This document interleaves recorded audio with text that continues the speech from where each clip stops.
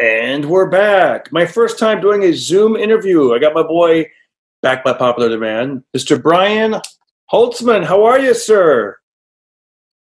Can you hear me? See, I, I think you're messing with me, man. I think you're messing with me because I'm already like, did I send the link right? Did I do the right invite? He does this all the time. I think he calls his family back home on the East Coast. Oh, dude, don't make me.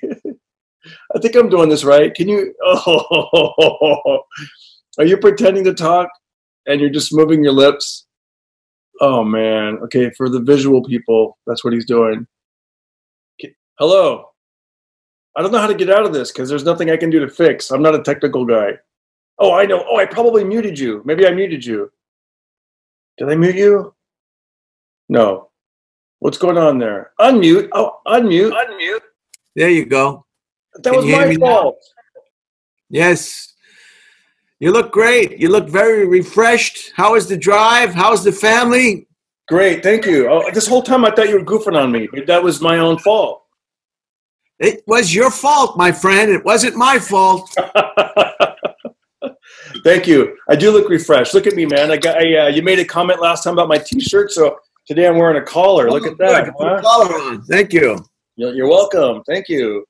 It's funny. The last time I wore this shirt in public, uh, somebody said I look like a high school football coach.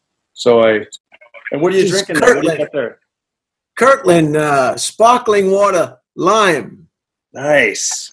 Yeah. A little lime there. Whenever I do a podcast on Zoom, yeah, I always want to keep lubricated. You don't want to start a podcast with Darren Carter, the party starter, without the proper lubrication, especially during a car, coronavirus uh, pandemic. You almost said epidemic, but it's pandemic. pandemic. I got my coffee. I'm caffeinated. Mm. So what's new? You must be dying to get back on stage. I am, man. It is. There's something about. It's been three weeks, I believe, for me, and be, before I played a, a room full of people. You know, it's it's it's weird, right? It's like we're superheroes, and then without that, we're just we're, we don't feel like we've got our we got our superhero powers taken away a little bit. Perhaps. I still feel like a superhero, though. You know, like when I see people, I still give them the smile and the hi, how are you, and the, you know, we've got to be the leaders in this situation. You know, like as far as bringing, for me, I think bringing a little bit of cheer and joy that's right. You got to stay happy. You got to stay healthy. You got to stay safe. You got to keep your marbles together. Yep. A lot of people are very frightened and they're scared financially and uh, uh, physically, and uh, you just got to uh, hang in there. You know, you just got to hang yeah. in there. No hey, something happened with the sound right now. I don't know what that was. Oh, maybe you covered the speaker or the microphone? No, no. It's just uh, sometimes your, uh, I guess your internet service will will will become strong or become weaker. You know.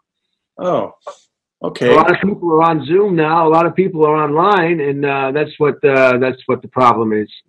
That's okay.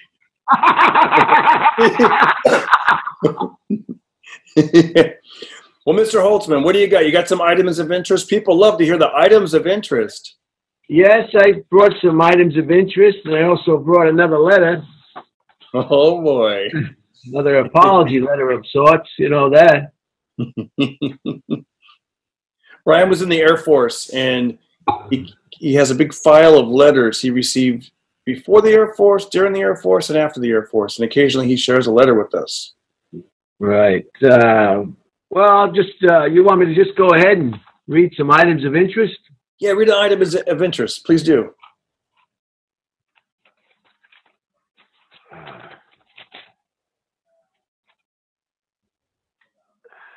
By the okay? way, yes, and you're the very. This is the very first time I've done a podcast uh, using Zoom. You're. This is exciting. You're the first one. Zoom.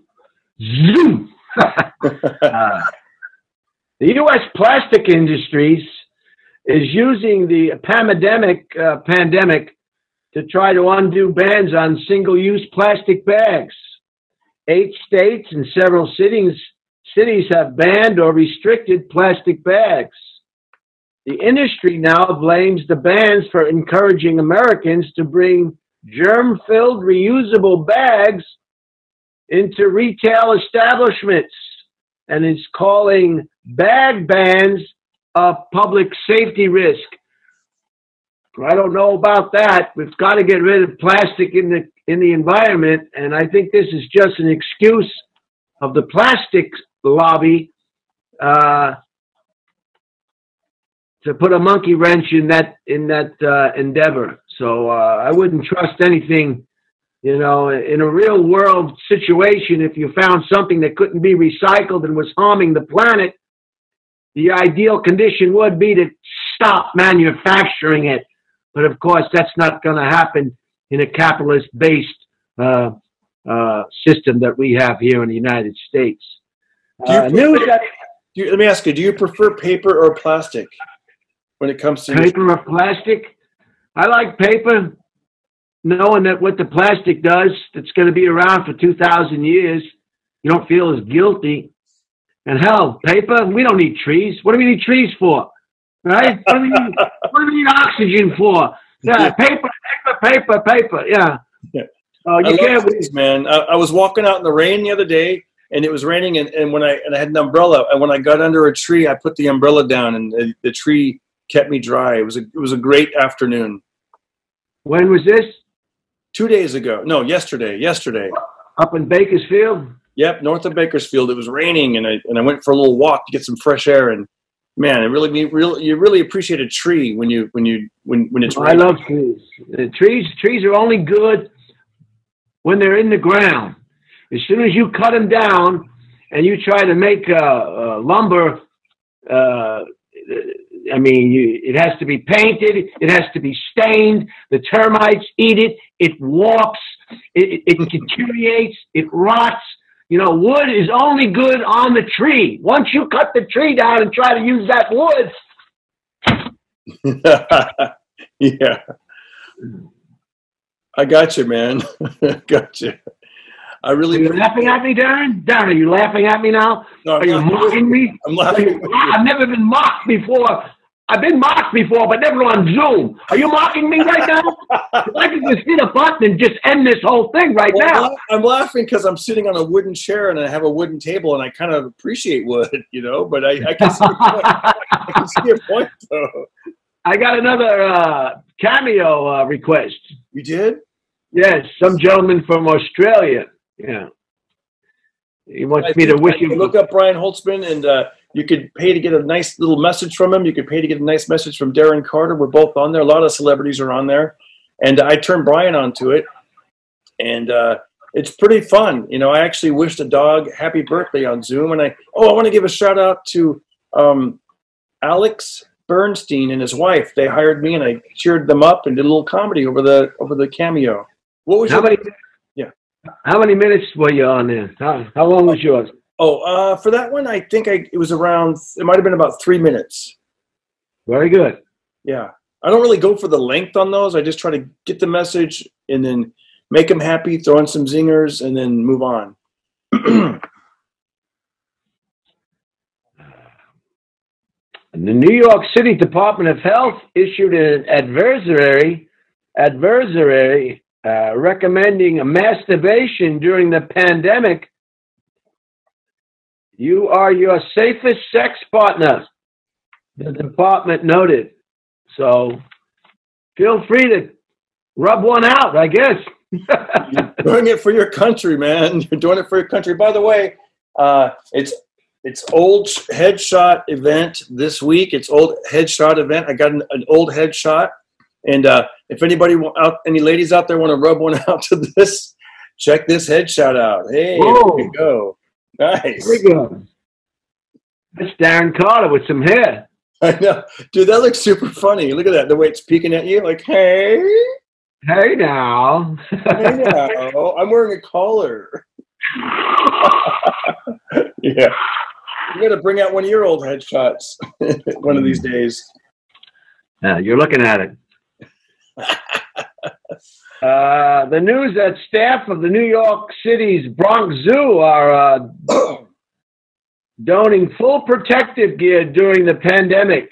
Given the genetic similarities between apes and humans, and the possibility of viral uh, viral transmission between the two species. So even zookeepers are getting full gob, gab, full protection. Yeah, and you know that tiger got coronavirus. I saw that tiger did. I don't believe that. I think that could be a a one off on that Tiger King show. Yeah, I think so, right? They're trying to like push the tiger, push it, push it, you know? I'm surprised Tiger Woods isn't going to do an appearance. You know, that show taught me a lot. I watched the whole thing, and I think we should uh, divert some of the money from the wall and just build a wall around Oklahoma. yeah. Just let all the tigers loose and eat everybody in Oklahoma. By the way, you can see you can see Brian at the loony bin at the Oklahoma City when this pandemic is over.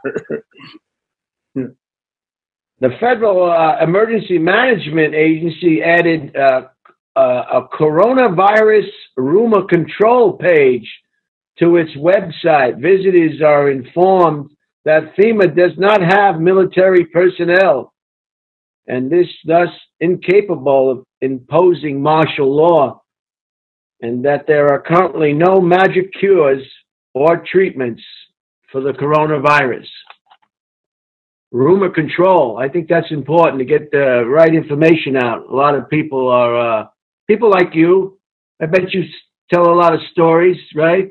Oh, yeah. I'm like, you know what you got to do, man? You know what I heard? I heard you got to use mouthwash and because uh, the germs like to live in your mouth for like four days, and then you got to have some hot cocoa, and you got to smell the smell the uh, vigilance of. Uh, yep, yep. Got to smell some of that fatulence of uh, you know, you pick an animal, you know. yeah, I wouldn't say tiger, but I ain't getting close to that, man. I am not getting close to no tiger. But yeah, people, yeah, guys, listen. Here's here's the biggest thing for coronavirus. I was thinking about this. Like, go to a reputable source. Don't just my friend heard this or I saw on Facebook or my my my, my aunt is a nurse and her friend. You just just go to the source. Otherwise, you'll be believing a million things. You know. Right. That's all I got. Well, that's enough. That's it, man. Reputable source. Keep your distance. Wash your hands. Be careful about touching your face. Then you won't be afraid. Uh, uh, Britain's uh, Daily Man warned uh, Daily Mail warned warned woman that going braless for weeks while quarantined at home could damage Cooper's uh, ligament and cause breast to sag permanently. Wow, this pandemic's worse than I thought.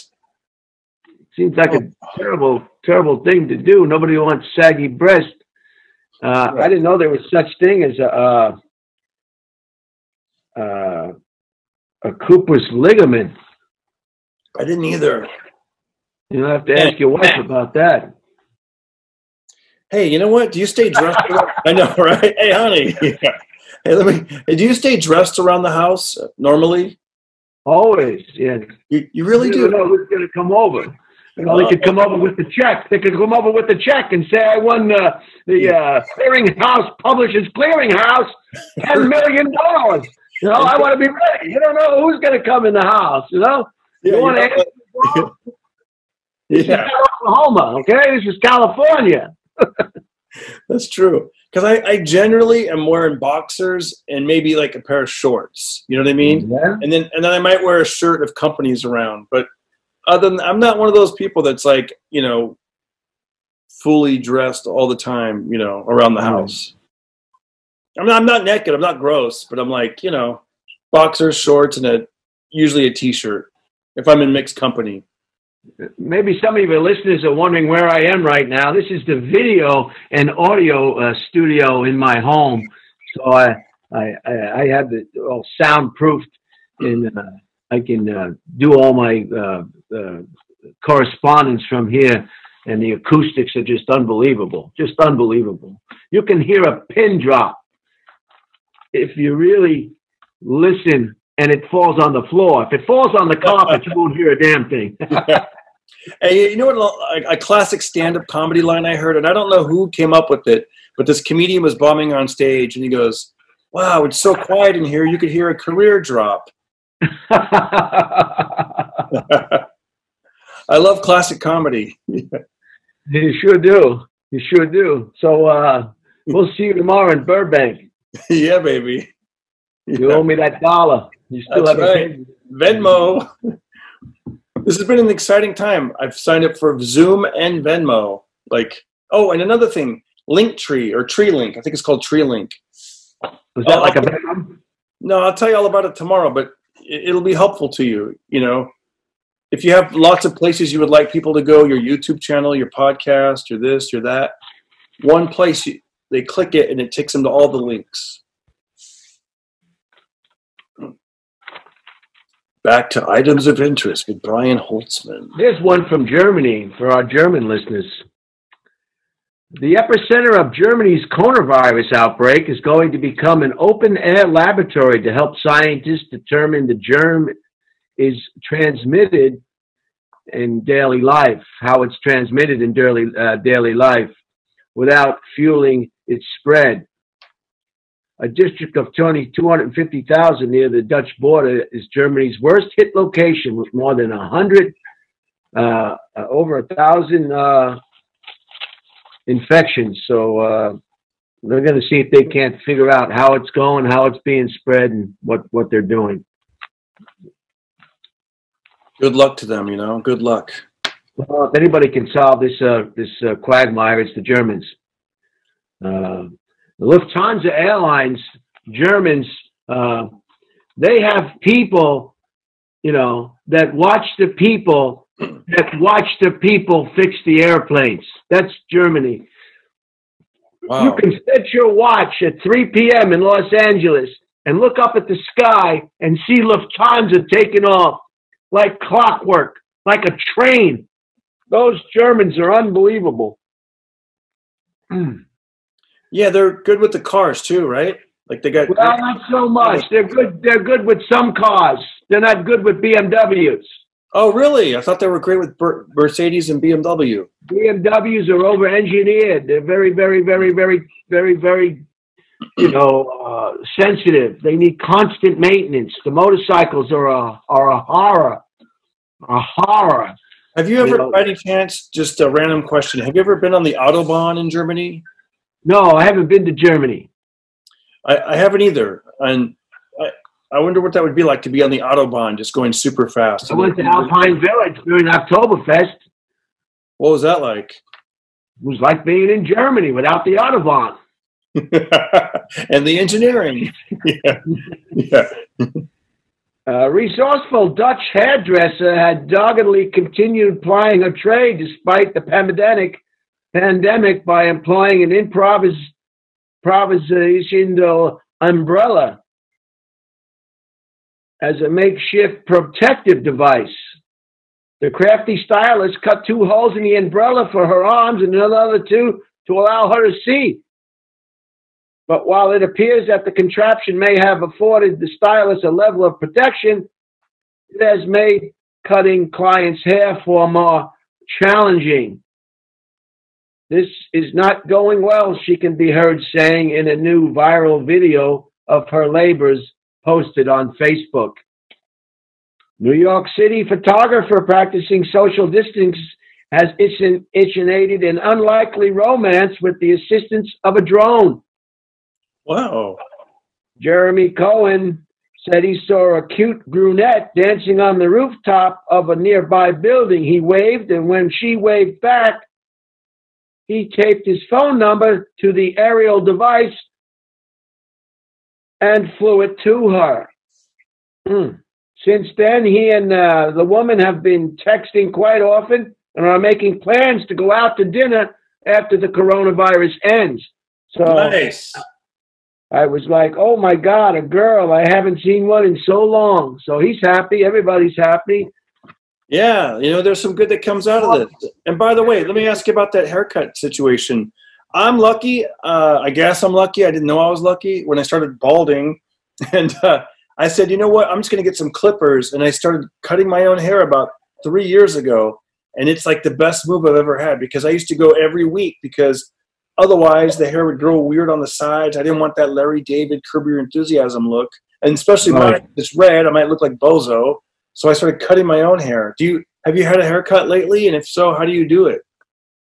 No, I haven't. I called Chinatown, and uh, the woman said, "No haircut, no haircut, no haircut." Yeah. so, uh, no, I haven't. So I'll just have to wait it out.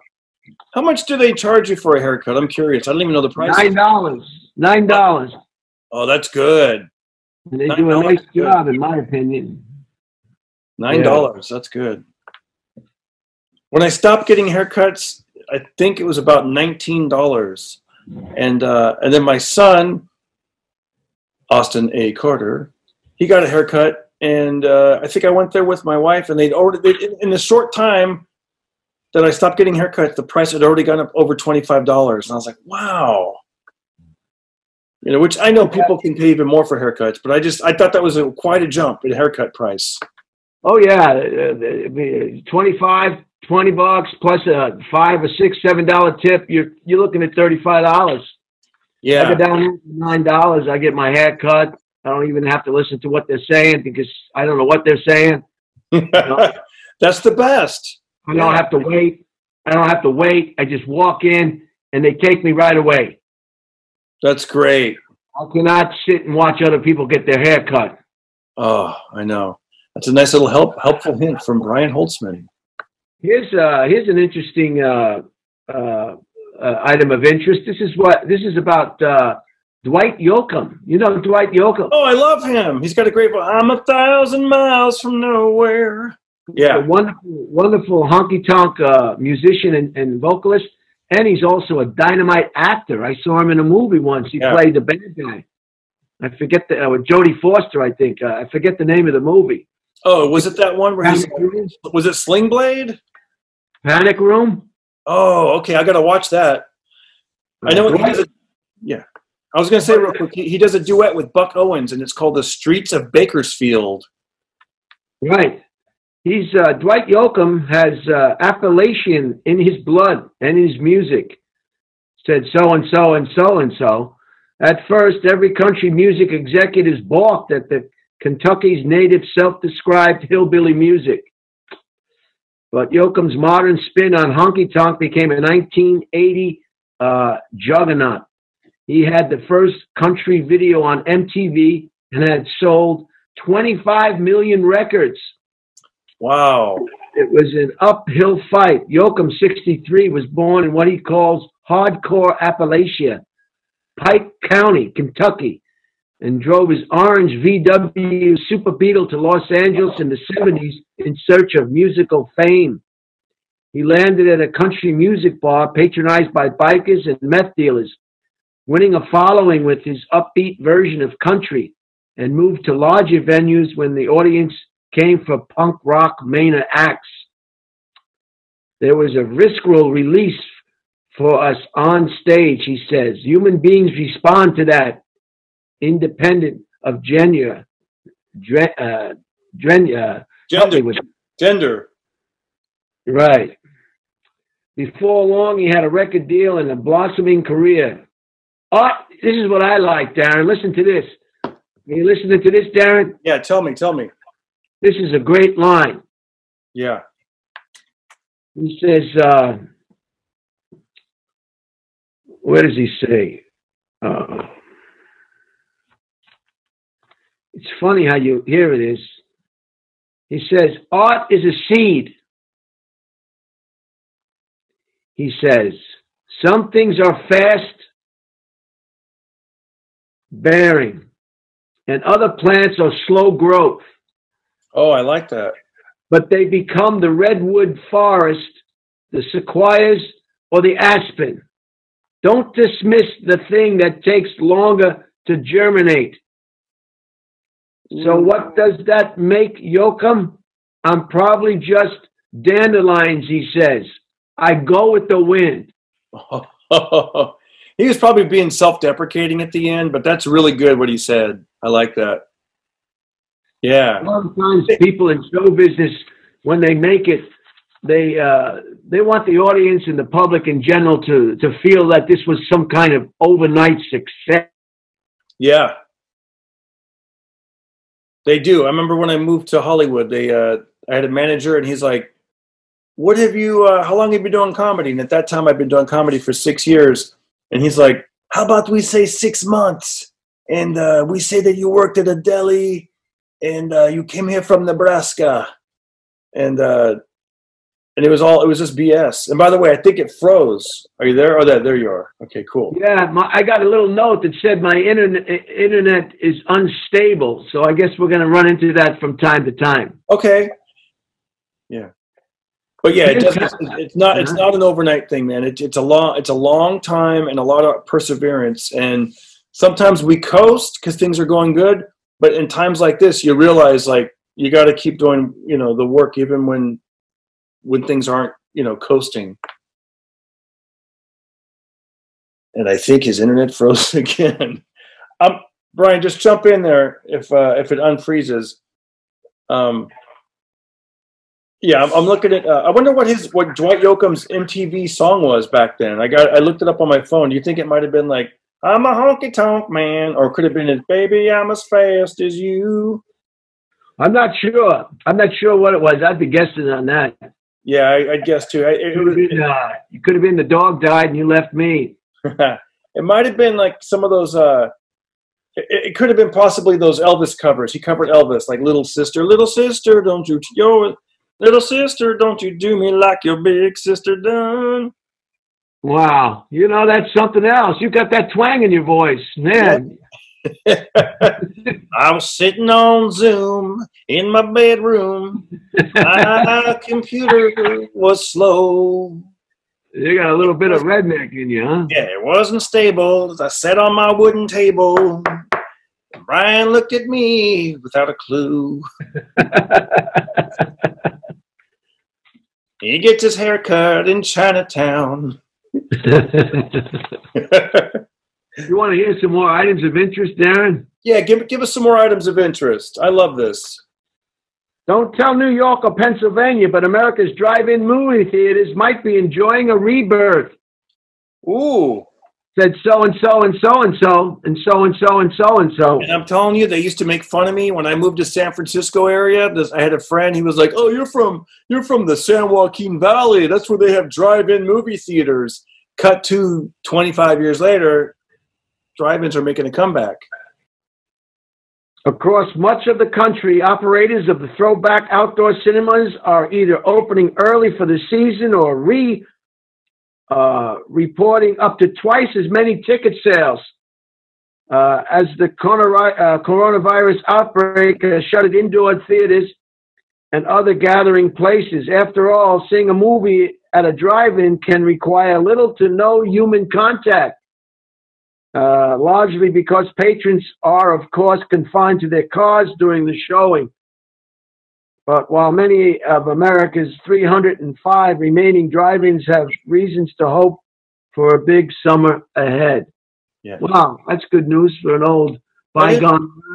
Yeah, I, I just hope that they keep the this. You know, they care about their movies because I remember I saw Gremlins in a movie theater or in a, in a drive-through, and like the light bulbs weren't very bright, and so you're watching this dimly lit movie, and it's a dark movie, and it, a lot of it took place at night, and it was just hard to see. You know, I felt like like the old drive-in theater that they didn't upkeep their equipment. Right. Do you happen to remember the last movie you saw in a drive-in? I've never been to a drive-in theater. Oh wow! I um yeah, see you're from a big city, you know, out in you know Fresno. We used to when growing up, we'd go to the drive-in, and then on Saturdays uh, during the day, they turn the drive-in that whole property that would be a swap meet, so people could could walk around and and it was a swap meet. You ever been to a swap meet? no, but uh, yes, I've been to a swap meet. Yeah. You can buy you can buy caskets at a swap meet. Dang, can you? They have one here in Los Angeles at an old drive-in uh, theater place. Oh oh oh oh wow! The one, yeah, the one right off the five, probably. yeah. Wow. Did you you didn't you didn't shop for a casket there, did you? Or you just No, I just looked. Oh wow! You just just browsing, were you? For that Something- one friend, you don't know what to buy them. Something interesting about a casket, you know? Yeah. Hey, one time I was at the big Fresno Fair, and they had a you could spin the wheel, and one of the prizes was a. I swear to God, it was along those lines. It said one single grave. Wow. I know. It's like, I would. Who wants to win that? You know. And when this Pam, when this, when, when everybody can go out again and this thing is all over, I think the comedy clubs are going to be packed to the rafters. I think. I so. think people Yeah. are going to go nuts. They're going to be nuts. They're to, they're not going to be able to fit everybody inside that wants to go see a comedy show. Oh my gosh. People are going to be starved for that, that, that, that, that, that feeling before the show starts. I get it when I go to see a play. Yeah. that, that nervous feeling you get in your stomach as an audience member before the show starts, you know, and, and then the show starts and it's like, wow, it's live. There's nothing like live. You know what I mean? There's Nothing like live.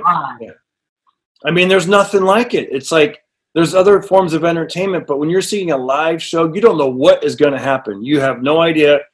And uh, especially a comic like you, you know, you're just you you think like other you don't think like other people.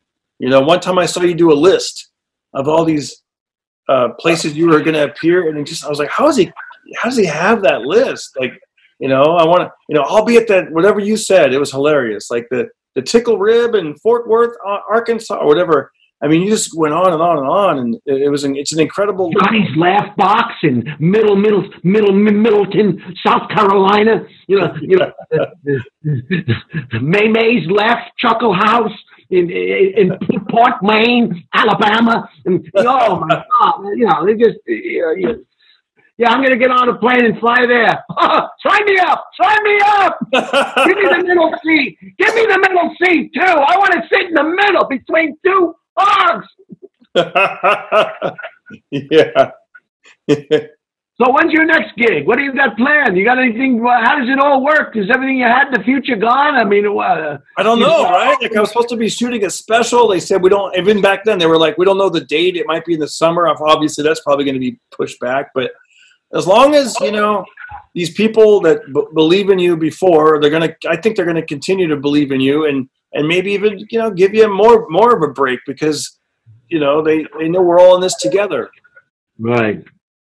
I covered up my face on on the uh, on here. It's distracting to look at your face while you're talking. Yeah. You know, your face on Zoom. If you don't know, uh, ladies and gentlemen, your face comes up on the right hand corner while I'm talking to Darren. And So, I, know, covered, I covered that with a piece of paper.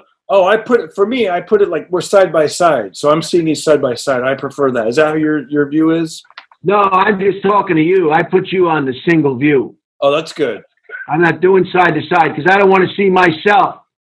It's it, it's disturbing to talk to somebody while you're looking at yourself, even if the picture's small. You know, it takes away. You can't just not look at yourself because it's it. You know, so I covered mine with a piece of paper. That's how I did. So now I don't have to see that. You know, that how I feel. I feel the same way when I'm at a restaurant and uh, and there's a mirror and I'm facing the mirror. I don't want to watch myself eat. You know, I don't want there to be a mirror right in front of me. Right. It's like in the gym. When I pump iron in the gym, I shatter all the windows before I start working out. So I myself. Yeah, and you act like it's an accident. You're like, oh, sorry, the dumbbell was um, extra hard right there. One time I was in Okinawa. During that time, I was in the Air Force and I was in a dojo, a dojo that had been many, many years old. It could have been a hundred years old. You know, it was just, you could tell it was old. And like a jerk, I leaned up. We were doing that martial arts with the sticks or some nonsense. I think I went Yeah. to one class. I never went back. And I leaned back against the mirror, the full length mirror, and it cracked. Oh, did you slip away from it like it wasn't your fault? Oh no, it made a big sound. Everybody knew it was me, and I thought they were gonna club me to death. But uh, oh, seven years bad luck I never went back. Yeah, more like twenty-five in my case. hey, well, that 25th years, it's it's it's coming up in May, so you'll be fine after this. But uh, uh, you got any more items of interest? Yeah, I'm just going to go along and look at a few uh, jails across the country uh, are releasing low-level offenders uh, for fear of a uh, uh, coronavirus outbreak among prisoners. In Los Angeles County, authorities released one in 10 prisoners, including prostitutes, vandals, and shoplifters. Wow. Let wow. the prostitutes go. yeah. Hey, you should be hanging around the exits of jails. No. Rides, anybody? Rides? Rides, anybody? Hey, do you work for Uber? I don't have my license on me. the cancellation of the NCAA men's basketball tournament, which generates 75% of the organization's annual revenue, has forced the association to slash its annual uh, uh, uh, scholarship program to colleges to $225 million. It used to be $600 million. Mm. Oh, this is gonna. This coronavirus is just affecting everybody. People that are graduating, uh, people. You, I don't think there's anybody on the planet that's not being affected by this coronavirus. I mean, everybody. You know, it's funny how they get the commercials up real quick. Yeah, Darren, how, yeah, yeah. How they get the commercials up real quick? I know. I saw. I thought I saw that. It's like, do they? Do they somehow? Some of them are pre-taped and they just add a voiceover. I don't know what they're doing. How do they get those people together to make those new commercials real quick? Like I saw one. It was for a, a fitness place, and it said, "It said workout." It said, "So 8 8 a.m. tomorrow. Let's all work in together." Instead of work out, work in. We're gonna work in together. You know what I've been doing? I, I've, I got to be honest though. Like I've, uh, you know, I, I've had a lot of, I have a lot of books, and I'm like, I'm gonna read those books, and I never read the books. And now I'm reading the books. Now I'm actually, I'm enjoying it. I'm putting on the reading glasses. I'm uh, at lunchtime. I, I read like three or four pages. I have a pen, and I'm and I'm circling paragraphs I like. I'm actually really enjoying it. It's a it's a lost art to read a book because we get so distracted when it's on a device like you might start to read on your device, at least I do, and then all of a sudden I get a notification, oh, what's this? And then I'm not reading a book anymore. Uh, yeah, you really have to take the time to read a book. What I'll do is I'll try to knock off a few chapters. This way, I'm not. I'm dividing my time between the television or the movie. Yeah. And because uh, reading is, uh, you'll never miss a movie. You'll never really miss a movie, but you'll always miss a good book. I mean, you'll miss a good book so terribly that you'll reread it. That's how good it was. And that's how terribly you miss it. And, and you ever get to the end of a book and you just, you're at a loss. You're at a loss because you get to know the characters so well. You feel somehow there's a vacuum. You know, I have an interesting experience uh, with the book I'm reading now. It's uh, it's about the history of comedy. I think it's called like Drunks, Thieves, and Scoundrels: The History of Comedy um, by Kliph Nesteroff, and it's covering like the right now. I'm at the chat. I'm, I'm, at the part of the book where they're covering like vaudeville and, and and burlesque and what it was like performing during get this the depression. You know, the 1920s, right after their you know the pandemic of 1918, I believe, and and I thought, how can this apply to us? And I realized like. Uh, there was all these theaters and they'd show up. This is during the Depression. and There'd be like 12 people in the audience. But they said the people that were thriving, the comedians that were doing really well, were the ones that were doing radio because they could do radio, they could be funny, entertaining, interesting. And people have been listening to this storytelling for, for that ain't going away. You know, as long as you can, you know, because you have to do other things with your eyes and you can still listen. And, and I thought that's great. And that, you know, like we can learn that lesson, like to continue to do the podcasting and doing what we're doing when we're not able to do those live shows. And, yeah, and, yeah. The only thing we have. And what I was going to say real quick is they were talking about um, a, a comedian. His name is Harry Einstein. He has four boys, and two of them are in show business. One of them just passed away. Um, he was uh, Super Dave Osborne who was also a character on Curb Your Enthusiasm. Well, I know Super Dave. Yeah. Yes. So so real funny. their father um, was uh, he did a character called uh, kick something like Kiki or Carcass or Parky or oh Parkyakarkus played like a Greek character Parkyakarkus, and that that poor guy he he actually died on stage like he was doing a friar's roast. He said thank you good night. He was crushing in front of Desi Arnaz, Lucy, the whole all these big stars. He goes to sit down, and he had I guess what was an, a massive heart attack and passed away. But they they play they talk they describe the clip like that he's killing and uh, i was able to i'm reading this book and then i thought i wonder if it's if it's online somewhere. And i googled it and i found it on youtube and, and you can hear his set. Really? so that it, kind of, it makes the book kind of alive you know? Interesting. So you listened to the gentleman's last performance.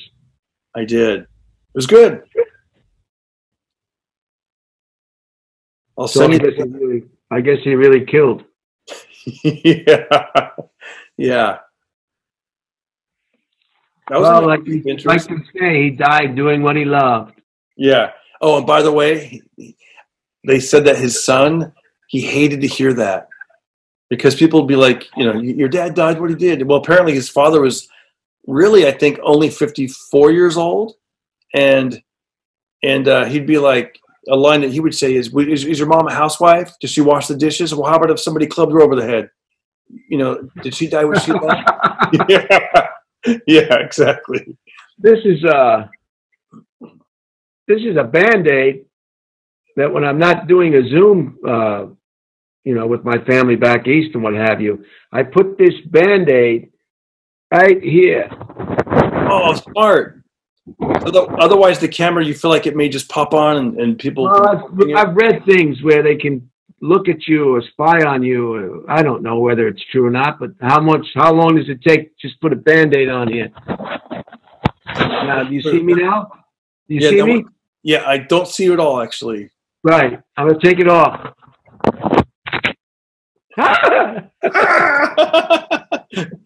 hey, hey, you gotta you gotta make make our listeners feel good. Uh, please tell us that's a clean band aid. oh yes, that's an unused band-aid that I took fresh from the package and use it just uh, uh, specifically uh, for this. Uh, this- Okay, you weren't like, nah, I was down by our swimming pool. It was just floating on the water. Chlorine, man, it disinfects. Wholesale prices for Midwest large eggs hit an all-time high this week at 309 per dozen. nice. This is up from uh, 103 per dozen only three weeks ago. So the price of eggs are going way up. I guess the coronavirus is cutting down on some of the uh, roosters and the chickens and what goes on with them. What do you think came first, the egg or the chicken? I don't know. That's if you you could. It's one of those things you can really think about it. Like you probably the chicken because you need a chicken to lay an egg. It, will- I don't know. It's weird. Why did the chicken cross the road? to get to the other side? Say why? Say why did the chicken cross the road? Oh, okay. Take two. Why did Why the did chicken, cross the road? the road? I'll I'll start off by asking you. Okay. Why did the chicken cross the road? I don't know. Why did the chicken cross the road? It's none of your business. It's none of your business why the chicken crossed the road. None of your business. Why do you care why the chicken crossed the road? I got one for you. All right. This is a, this is a, a good clean joke. Hey Brian, did you hear about the new restaurant across town that just opened up? It's called Karma. Really? No, I haven't. Yeah, you don't you don't have a they don't give you a menu because you get what you deserve. Oh, where's that band aid? Where's that band aid? Time for an old headshot.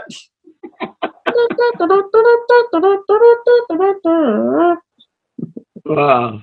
Well, we better wrap it up. Uh, we got a few more minutes. And uh, did you, you say you like me to? You want me to read my letter? Yeah, read your letter. By the way, for you guys watching on YouTube, you can uh, find this podcast called Pocket Party on iTunes and Spotify and Stitcher. Please subscribe. And uh, Brian has a podcast called Dead Air with Brian Holtzman, and he does items of interest and a lot of interesting items. And I've been lucky enough to uh, to be a sidekick on there from time to time, and I really enjoy all my appearances on there. Dead Air with Brian Holtzman.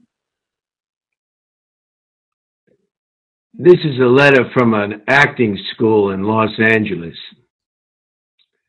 Dear Brian, under the terms of your contract with the studio, you are only permitted to miss class for acting, extreme illness, or for a family medical emergency. You have missed classes for reasons which are considered unexcused. Therefore, you will be put on probation for one month, beginning December 7th, 1994 and continuing through February 18th, 1995. the terms of your probation are that you cannot be late to class or a private, miss a class or private, or cancel a rehearsal with your partner, or you will be dismissed from the studio.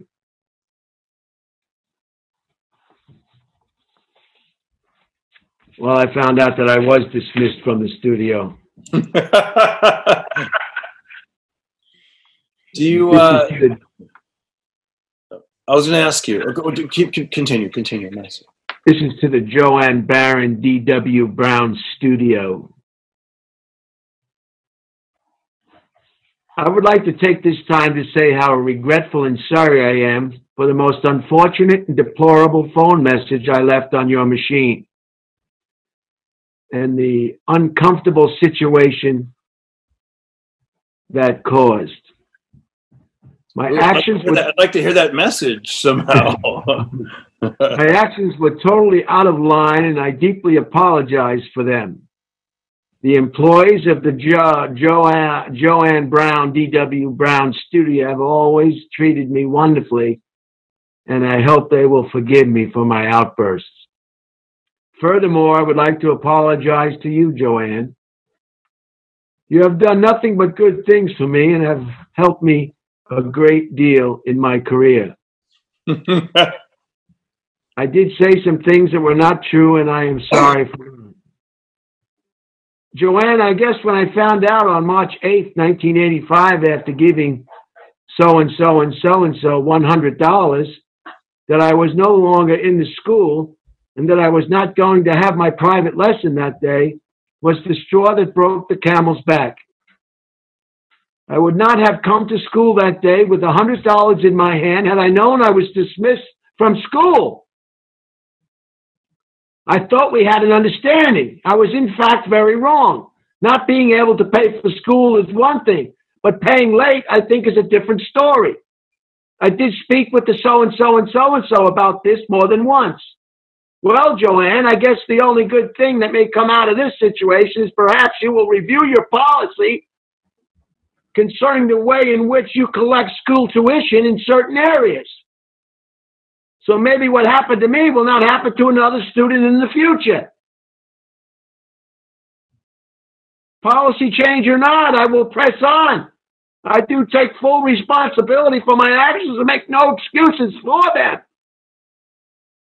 What I did not, what I did was not professional, or for that matter, very mature. Sincerely, Brian Holtzman. It was bullshit. It was total bullshit. Did you say 94 or 84? 94. 94. And that was it. And they just let they let you go. Didn't get to graduate. That was year two. Mm. They should have called it the acting school for rich kids. Yeah. Total bullshit. So I got on the phone when I got home that day. I had a little bit to drink. I was upset. And I left a message on their machine. And I let them know exactly what I thought about their school, their policy, their personality, their tuition fees, and every other damn thing. And they said they had recorded it and they will send it to the police if they have to for prosecution. Whoa. So I called him back and said, so and so and so and so and so and so and so and so. And after all that, did they did they say you were on a one month probation or they were like, That's it, man, you're out of here? No. Out. Oh. I always find it funny with acting classes that I think they'll just keep taking your money as long as you keep showing up. Uh, and there's because there's not, you know what I mean? It's not like it's a you're guaranteed. Like a, like a union member, they'll Yeah. keep as long as you keep showing up. right you keep showing up month after month year after year they're like oh right you know and and but but i think but it also there's such a demand you know, especially back then 94 they could kick you out and there's 10 more people willing to pay him money and they're just like well let's just let's just get this new student who's not going to leave messages. Right. you know? It's all bs right? Like i remember like i i i, talked to a guy i don't know if you know jimmy brogan. He actually he has jimmy brogan he used to be on the tonight show. He used to have his own sitcom man. This guy had his own sitcom. He, he acted with uh robin williams. You know robin williams was on his show. It was amazing. And and i remember telling jimmy brogan one time i go hey jimmy they they moved me up in my acting class from whatever like a monday night to a wednesday night. I'm i'm i'm, I'm going to be in the master class. But what, but i still felt a little like naive about it but a little bit skeptical. And he's kind of broke it down. He's like he's like you know what? It's you know what? Maybe you are a good actor and that's why they did it but maybe they just they need to open up that chair in the monday night class so they're they're shuffling people to come over to the wednesday class Right. it was like a light went on i was like you're right you know Yeah, you know, uh, he he got real lucky. He he he got picked to be the weatherman. oh that's Oh, no. Fritz, that's fritz coleman they look alike Fritz Coleman got to be the weatherman. They they saw him at the comedy store like when he was like ten years old or something, and he's been the weatherman ever since. Wow Actually, He's actually decomposing right in front of your very eyes while he's giving you the weather. yeah he, He's been there forever. dude he's been a weatherman he's been a weatherman i remember when i moved to la he was the weatherman back in the 90s i mean that guy I think they give the weatherman too much credit here in Los Angeles. So you and I could do the weather. You know, Yeah. it's going to be sunny today and warm. That's all you need to know. Yeah, you, you realize like, oh, chance of cloudy, chance of rain, a partly chance of uh, you know, and other than that, it's gonna be it's gonna be sunny. Then they want to add just to make it exciting. They want to add the valleys and the and the high desert and the and the Big Bear and all these other places that nobody cares about. You know, just, just to make the newscast a little bit longer. You know, you know who cares about the valleys in the and, in, in, in the inland in the Empire and, and Big Bear and and, and you, know, you know, I don't care. I'm not going out there. Do I look like a chipmunk? Do I look like a bear?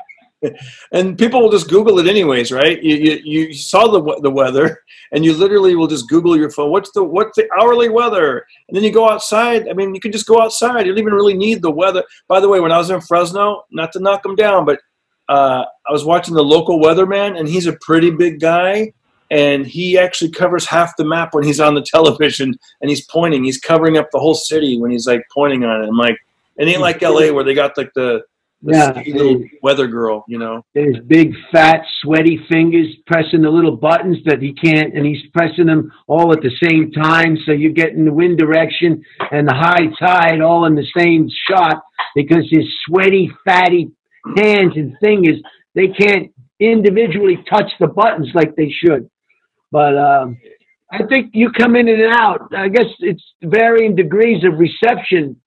I hope that doesn't interfere with the, the finished product. No, it sounded pretty good so far. Um, let me ask you a couple weather things before we go. Do you have any idea um, to tell when there's going to be thunder and lightning? Like when you hear thunder, you hear the thunderclap. Pow! Do you know how soon the lightning will hit? Do you and do you realize? No, first the lightning comes.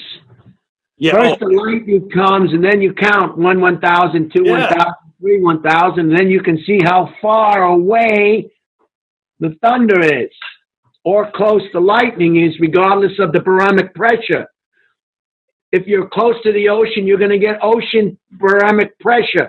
If you're in the foothills and the mountains, you're going to get barometric pressures. If you divide these pressures in half, add the distance from the ocean to the mountains divided by your altitude, you'll get the distance between the lightning and the thunder. It's very easy, Darren. That's right. You're supposed to count, right? And then the, the, the shorter that that's the closer the lightning is, you better get out of the way. Well, you should, especially if you're standing next to somebody who's got a a metal paw.